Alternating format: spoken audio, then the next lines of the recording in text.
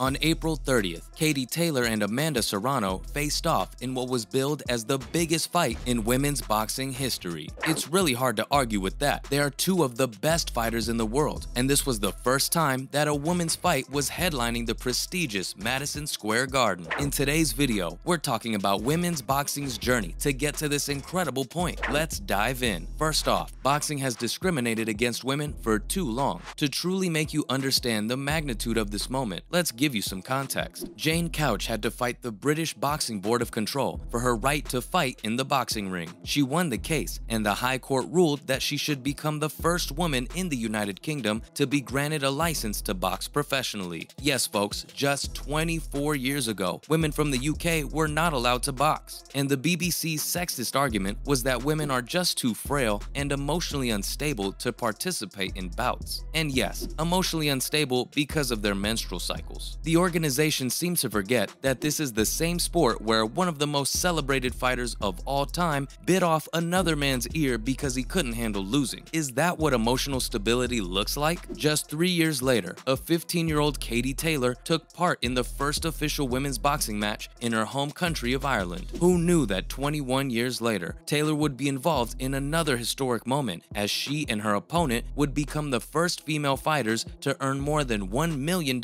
in one night, and as we've mentioned before, the first to headline the Garden. Next up, Jane Couch was in disbelief. British sports promoter Eddie Hearn was co-promoting this contest with the controversial YouTube star turned pro boxer Jake Paul. A couple of days before the fight, he was told that his father, Barry, who was also a famous promoter, was once shocked to hear that Jane had not been paid for some of her fights. That just makes you realize that after decades of prejudice, pain, and discrimination, women's boxing has finally been transformed. So as Katie Taylor and Amanda Serrano were preparing to step into the ring at the most iconic venue in the world, promoter Eddie and pioneer Jane were united in a shared disbelief, relief, and delight. Speaking to The Guardian on the phone, Jane said this of the Taylor and Serrano bout, I can't believe it, but it's brilliant. I'm so glad this day has come, and we completely understand what this means to her. After all, she's been pretty vocal about the personal and psychological cost she had to pay for being the revolutionary who made women's boxing legal in Britain. No one has been through more than her. No one had to fight more than her. The boxing authorities and promoters had repeatedly been cruel to her, and she had often wished that she had the right manager or trainer to look after her. But unfortunately, she was the first, and she had to do everything all by herself.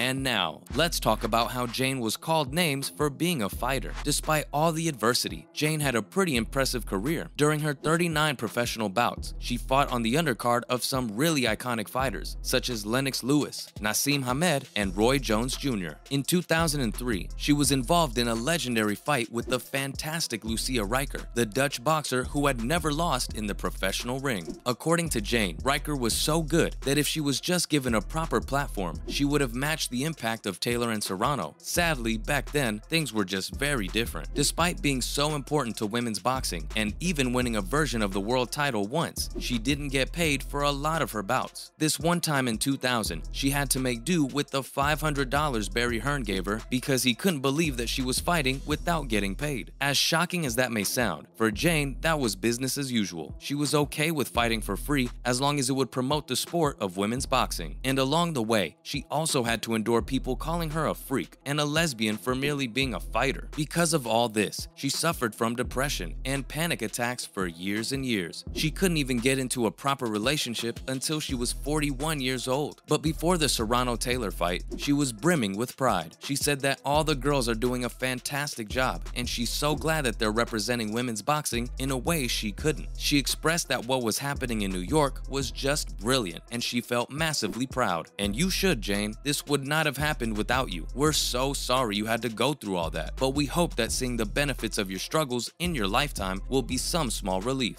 So, what did Eddie have to say about making this fight happen? Eddie expressed that this promotion has continuously surprised him. He revealed that when they sat down with Madison Square Garden's management to make it happen, they said that we have to get this fight and we have to put it in the big arena. He could see that the management was super confident and everyone realized that they could make this a significant moment in the sport. And guess what? When the tickets went on sale, it was the second fastest pre-sale in the history of the venue. So if anyone out there still believes that women's boxing can't generate revenue, shame on you. Eddie also revealed that there were more media requests than for some Anthony Joshua fights. They were approached by CNN, The Today Show, and Bloomberg. That's more than just boxing media, that's impact. Next up, face off at the top of the Empire State Building. Around five days before the fight, Amanda and Katie were guests on The Today Show on NBC. You have to realize how huge that is. That program usually only includes news and guests from mainstream America and almost never features boxing. Amanda and Katie were repeatedly making heads turn. That same day, the two fighters engaged in a face-off at the top of the Empire State Building, and apparently, that night blew Eddie's socks off. The building was lit up with the flags of Ireland and Puerto Rico. He couldn't believe his eyes. He had no idea they were going to do that. Women's boxing had well and truly arrived, and in style. And even Eddie's dad didn't believe that women should box. Eddie admitted that before they started working with Katie, even his father thought that women shouldn't box, and he wasn't the only one. All old school promoters such as Frank Warren and Bob Arum thought that boxing was a tough and rough man's sport. Women did not belong here. While he was working with Katie, he realized that broadcasters were merely using women's sport as a box ticker. She taught him how that was completely wrong, and box ticking is not equality in any way. In 2016, Katie was set to make her pro debut at Wembley, and everyone was making fun of Eddie. They berated him for putting a women's fight as the main event at Wembley and claimed that it was embarrassing. But then the fight happened, and in front of 3,000 Irish fans, Katie told the whole world that she was a force to be reckoned with. She was doubling up, throwing super powerful punches, switching, and moving superbly. Even his dad was taken aback by how good she was, and that is when Eddie knew that he had to give her the platform to convince people. According to him, back then, 80% of the audience thought that women's boxing wasn't for them, and now that 80% has gone down to like 10. He claimed that he knew this was going to happen. All they had to do was let people see fighters like Katie and Amanda, and they'll be convinced. Finally, promoting Katie has taught Eddie a lot. Eddie revealed that just four years ago, he went to Katie and said to her that on International Women's Day, they're going to do an all-female card at Madison Square Garden in the Hulu Theater and that it would be a groundbreaking moment. Apparently, he was super excited, but Katie said no way, and she looked super disgusted. She then told him that the only way there could be a sustainable future with women's boxing was for it to become a standalone product as a great sport, not just a token of goodwill. If it manages to stand alone and has its own value, then we can have sustainability and longevity. And he explained that over the last few years, that's exactly what Katie has done. She and Serrano are not selling out the venue because everyone thinks they're supporting women's sport. They're selling it out because people believe it's going to be an awesome fight. Just a few years ago, he had pitched making $1 million